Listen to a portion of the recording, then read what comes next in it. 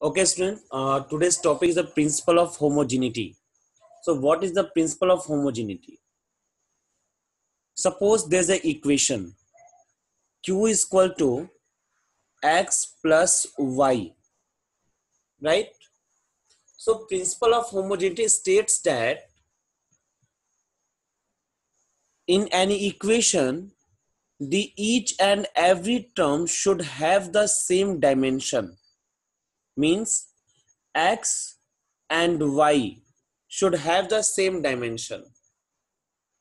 Then these x and y can be add up.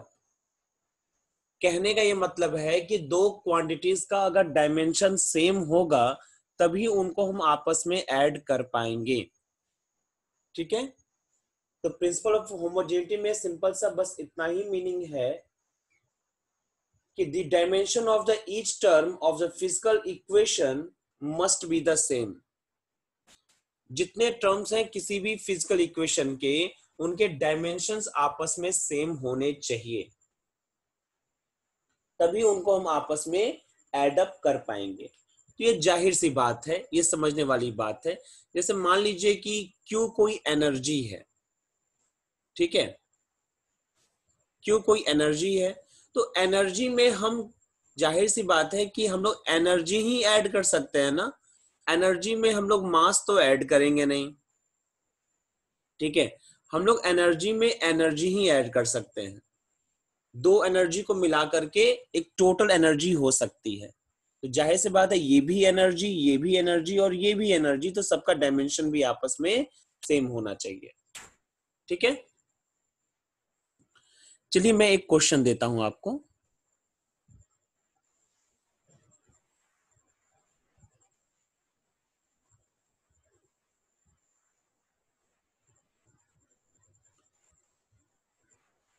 Suppose there is equation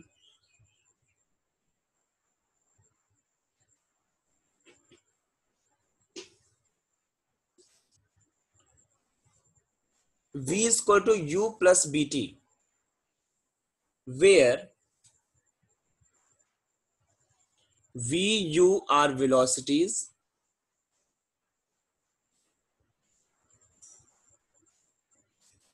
t is time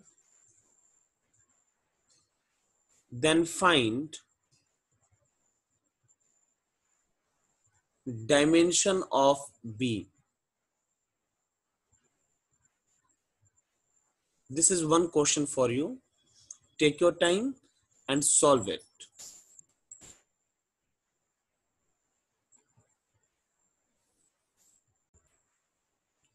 Now equation is given V equal to U plus AT. Now, from the principle of homogeneity, we know that from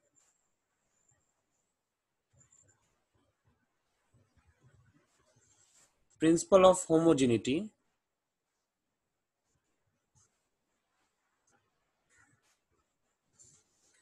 dimension, देखो इसका और इसका dimension same होना चाहिए, तभी तो दोनों add up हुए हैं। Dimension of A T must be equal to dimension of U ठीक है?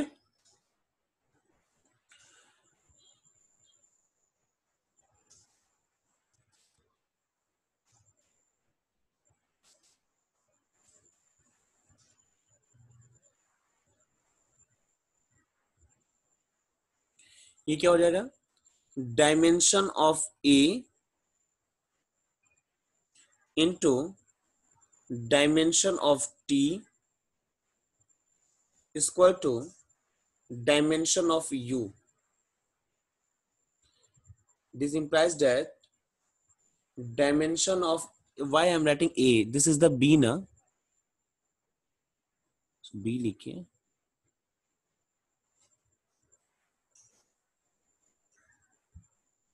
ये b लिखा था dimension of B is equal to dimension of u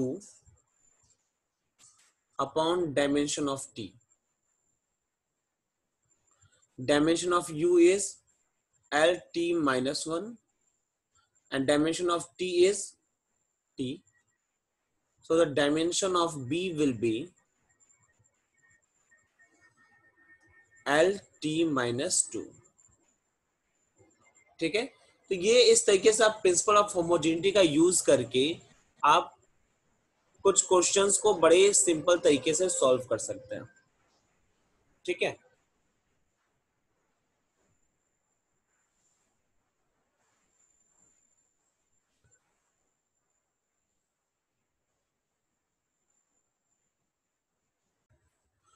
Okay, students, so there's a new topic uses of the dimensional equation.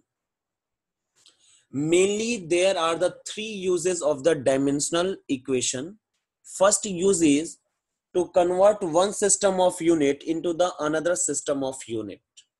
Second is to check the correctness of the formula. And the third, to derive the relation between the given quantities. One by one, we will discuss it. The first part, to convert one system of unit into the another system of unit. Suppose there is any quantity Q. Then this quantity Q is represented by N1 U1 where N1 is the magnitude corresponding to the U1 unit and this can also be written as N2U2 where N2 is the magnitude corresponding to the U2 unit.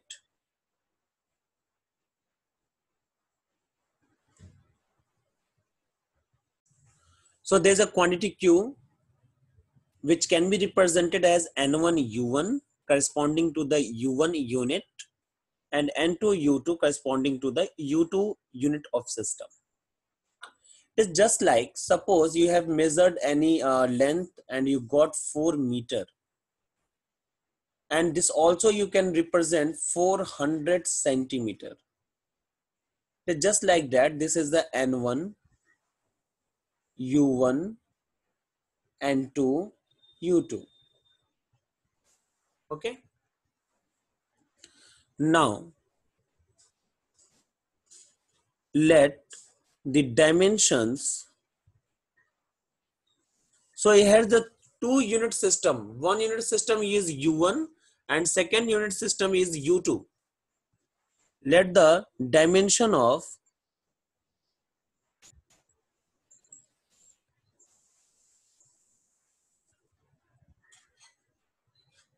in mass length time is A, B, C respectively.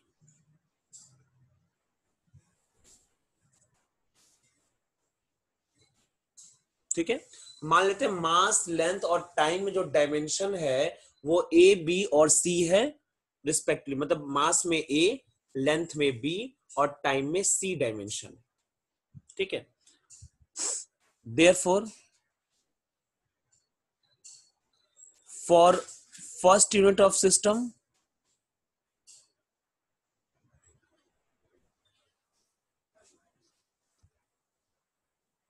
first unit of system को कैसे represent कर सकते हैं हम लोग?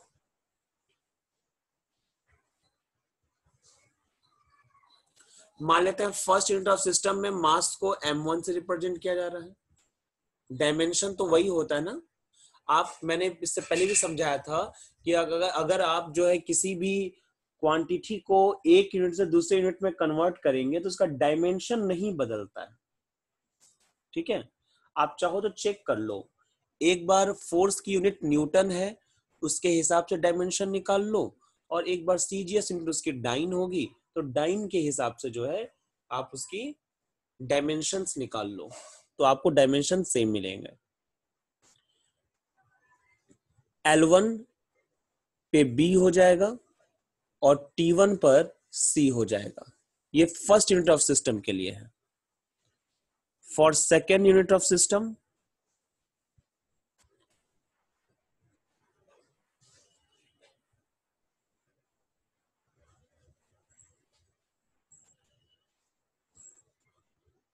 ये हो जाएगा M two a L two and T two c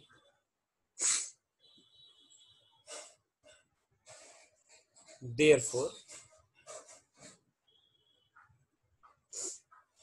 यहाँ से अगर फ़र्स्ट यूनिट सिस्टम में क्यू को रिप्रेजेंट किया जाए तो कैसे करेंगे? Magnitude into unit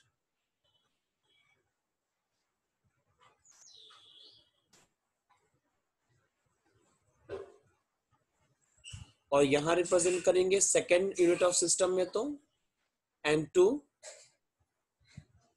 into unit of system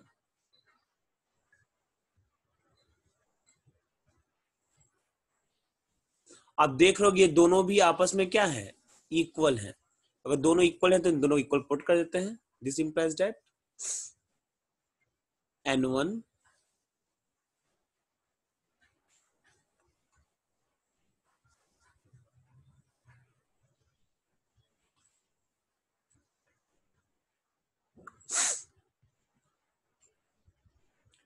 and 2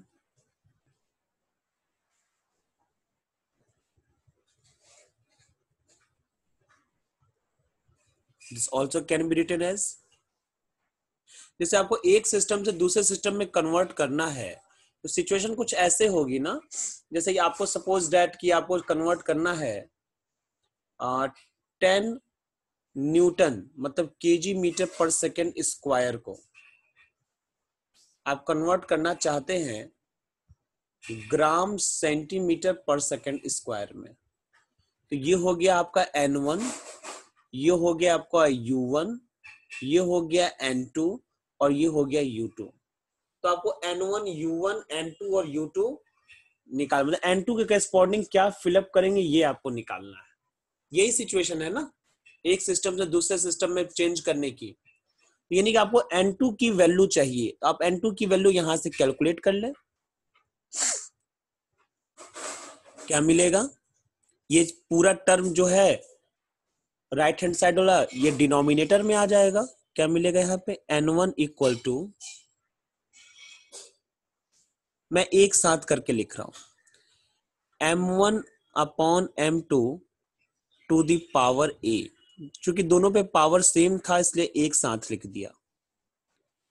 L1 power L2 L1 upon L2 power B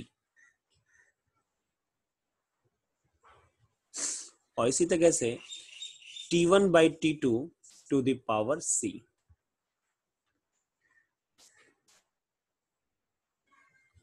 तो ये हो जाएगी N2 की वैल्यू और इस फॉर्मूले के हेल्प से हम लोग चाहें तो N2 की वैल्यू को कैलकुलेट कर सकते हैं। एक क्वेश्चन मैं आपको भी करके भी दिखा रहा हूँ। ठीक है? चलिए मैं इसी क्वेश्चन को करके दिखा रहा हूँ। यहाँ पे जो है।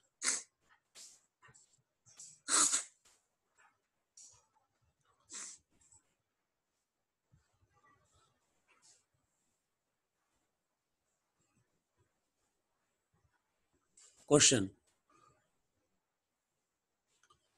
convert 10 kg meter per second square into the gram centimeter per second square. ठीक है? यहाँ से पहले आप कंपेयर कर लो। एन वन क्या है? टेन। एन टू क्या है? Question mark. ये निकालना है हमें। U1 और U2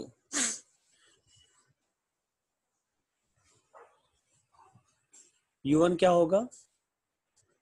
Kg meter per second square और U2 क्या है? Gram centimeter per second square अब यहाँ से आप निकाल सकते हैं M1 L1 T1 M2 L2 T2 M one क्या है? के जी एम टू क्या है? Gram L one meter L two centimeter time second और T two second a b c कितना है? ए बी सी ए का मतलब डायमेंशन इन मास तो डायमेंशन इन मास आप यहाँ से कंपेयर करिए, जो पावर होगा वही डायमेंशन होगा ना? तो डायमेंशन इन मास वन है। डायमेंशन इन लेंथ ये भी वन है. Dimension in time minus two है. ठीक है? तो N two equal to formula क्या बताया था मैंने? N one M one upon M two power a L one upon L two power b and T one upon T two power c N one कितना है यहाँ पर? Ten रख देते हैं। एम वन के जी upon ji power A A का मतलब one meter upon centimeter power B मतलब one and second upon second power minus two ten gram से केजी को कन्वर्ट करेंगे तो वन थाउज़ेंड आएगा। आएगा ना एक केजी में वन थाउज़ेंड ग्राम होता है ना? मीटर सेंटीमीटर को मीटर करेंगे तो हंड्रेड आएगा। क्योंकि एक मीटर में हंड्रेड सेंटीमीटर होते हैं। और पावर वन है दोनों का। पावर वन पावर वन को मतलब तो सेकंड सेकंड कट जाएगा तो वन आएगा। वन का पावर माइनस टू का मतलब वन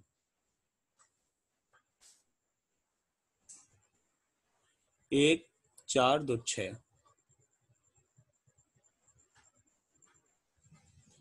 यानी कि कितना आ गया? इसको इरेज कर देते ten to the power six N two की वैल्यू कितनी आ गई? टेन टू दावर सिक्स तो यहाँ पे क्या फिलअप करेंगे हम लोग? टेन टू दावर सिक्स यानी कि टेन न्यूटन इक्वल टू यहाँ से क्या रिज़ल्ट निकला? टेन न्यूटन ये न्यूटन की यूनिट है ना? Ten newton equal to ten to the power six dyne और वन न्यूटन इक्वल टू कितना हो जाएगा? Ten to the power five dyne तो ऐसे ही आप चाहें तो वन न्यूटन का निकाल सकते हैं, वन जूल को आप अर्ग में कन्वर्ट कर सकते हो, ठीक है? तो कुछ क्वेश्चन है जिसको आप लोग सॉल्व कर लेना। जैसे convert one joule into the erg.